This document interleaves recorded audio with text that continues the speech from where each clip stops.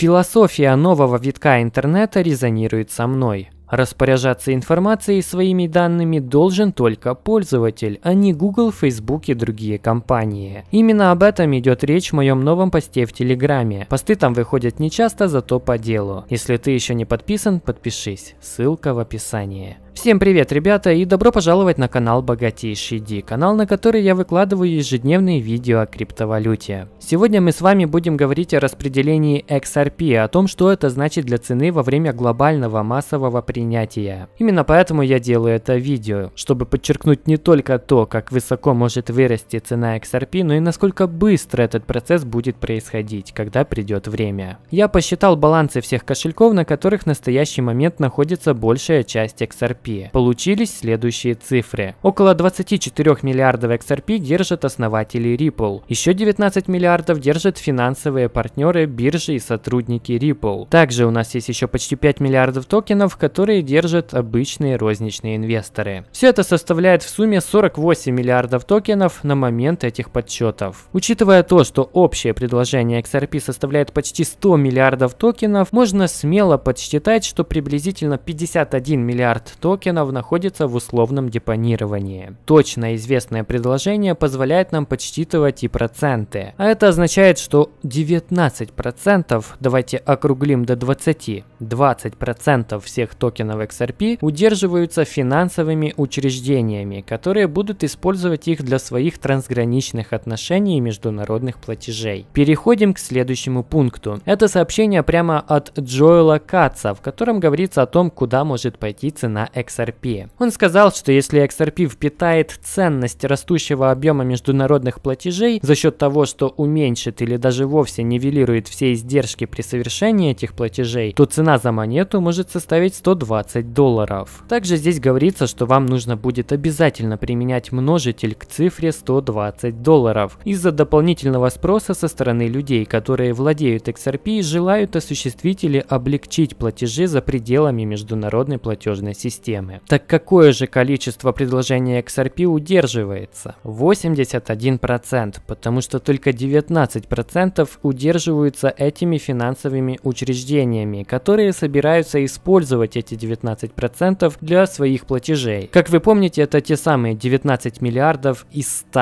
о которых мы говорили в начале. 20 к сотне это соотношение 1 к 5. Это то самое количество XRP, которое доступно для этих международных транзакций акций. Одна пятая существующих XRP доступна учреждениям, которые хотят использовать эту монету для трансграничных платежей. Как говорит Джоэл в этом посте, если одна пятая от всех XRP впитает в себя ценность трансграничных платежей, то цена токена будет 120 долларов. Однако, если этим финансовым учреждениям предоставить все 100 миллиардов токенов, чтобы использовать их для трансграничных платежей, то нам нужна будет цена по крайней мере в 5 раз превышающая сумму в 120 долларов, чтобы достичь ликвидности, которая необходима этим финансовым учреждениям для перемещения XRP и для поддержания всех своих глобальных международных отношений. Потому что если ликвидности не хватит, это все дело просто сдохнет. А это значит, что XRP должен находиться на пути к 6 сотням долларов. 120 умножили на 5. Это взгляд на вопрос только со стороны спроса и предложения XRP Ledger. Такая модель совсем не учитывает сокращение спроса на доллар США. Примем во внимание, что ценность доллара США примерно на 2 трети состоит как раз таки из-за международных отношений. Почему? Потому что доллар выступает в качестве глобальной резервной валюты. Поэтому, когда XRP заменит доллар в качестве этой глобальной резервной валюты, с или без согласия Соединенных Штатов, доллар США США потеряет две трети своей ценности. Когда это произойдет, доллар очень стремительно упадет на 66%.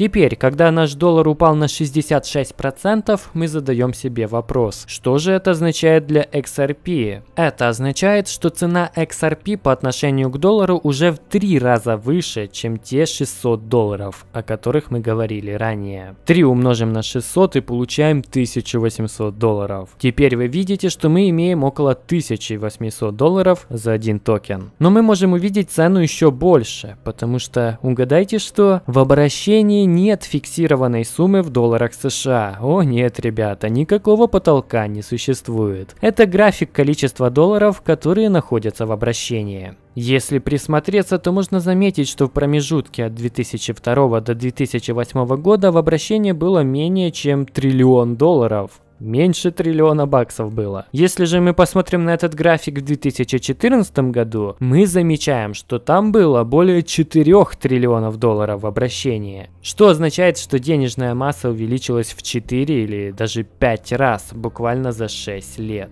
Кстати, 1985 год. 202 774 доллара в обращении. Как показано на этом графике, мы имеем гиперинфляцию доллара с какой угодно точки зрения, потому что глядя на этот график не говорит о гиперинфляции только слепой. Когда количество доллара в обращении увеличивается в 5 раз за последние 5-6 лет, то это гиперинфляция, и это будет продолжаться и дальше. Хочу отметить, что Дональд Трамп ходит за представителями ФРС и называет их тупицами за то, что они постоянно снижают процентные ставки. Что такое процентная ставка? Грубо говоря, процентная ставка это количество долларов США, которые Федеральная резервная система высасывает из экономики, чтобы препятствовать еще более скоростному увеличению предложения. А это означает, что в обращении будет еще больше долларов. По текущим оценкам их предложение должно должно быть где-то в районе 20 триллионов долларов. Этот график показывает пик в 2014 и это всего лишь 4 триллиона долларов. 20 триллионов долларов это в 5 раз больше, чем 4. Так что мы собираемся сказать, что те же тенденции будут продолжаться, потому что именно в этом и заключается гиперинфляция. С каждым новым периодом это все более экспоненциальная тенденция к более низкой покупательной способности доллара США. Если это так, то можно сказать, что если понадобилось всего около 6 лет, чтобы увеличить предложение с триллиона до 4, то вероятно на следующий раз потребуется всего лишь 3-4 года, чтобы умножить это предложение в 5 раз. Значит 1800 долларов превратятся в 9000. Округлим до 10, чтобы было красиво.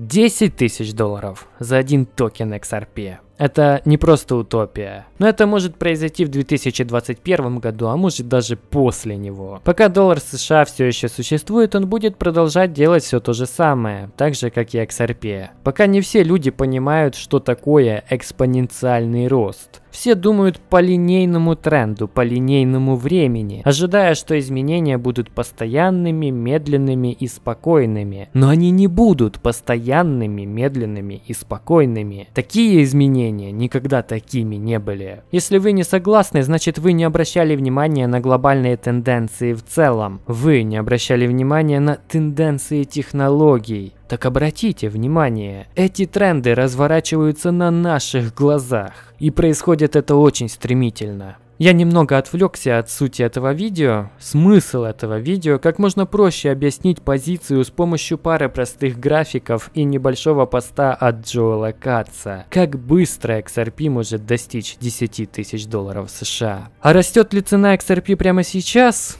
Конечно нет. Посмотрите на график сегодня. Цена XRP все еще равна 20-25 центам. Растет ли биткоин? Нет, он все еще стоит на 10 тысячах. Но это не имеет значения. Почему это не имеет значения? Потому что розничные инвесторы – это те люди, кто привел биткоин к 20 тысячам. Розничные инвесторы, такие как вы и я, это те, кто довел XRP до почти 4 долларов на пике. Поэтому, когда дело доходит до реальных денег, поступающих в систему, то нам, розничным инвесторам, не позволят повлиять на будущую цену этих рынков. Это будут авторитетные институты и правительства мира. Так что перестаньте париться по поводу того, что сейчас не так много людей хотят оставаться в этом пространстве. Перестаньте париться по поводу того, что вы, возможно, не понимаете, как мы можем получить такие цифры. Они давно понимают это за вас. Они управляют ценностью доллара, циркуляцией доллара. Они знают, как контролировать деньги. И они контролируют их таким образом, что массы даже не обращают на это внимания. Поэтому готовьтесь, потому что мы становимся свидетелями больших изменений. Я бы сказал, что мы, как человечество, еще никогда не видели того, что наблюдаем сегодня. Того, что произошло с технологиями, блокчейнами, со всеми этими развивающимися отраслями, которые имеют огромное воздействие на то, как функционирует наша глобальная экономика и как она будет функционировать в будущем. Богатейте. До скорого.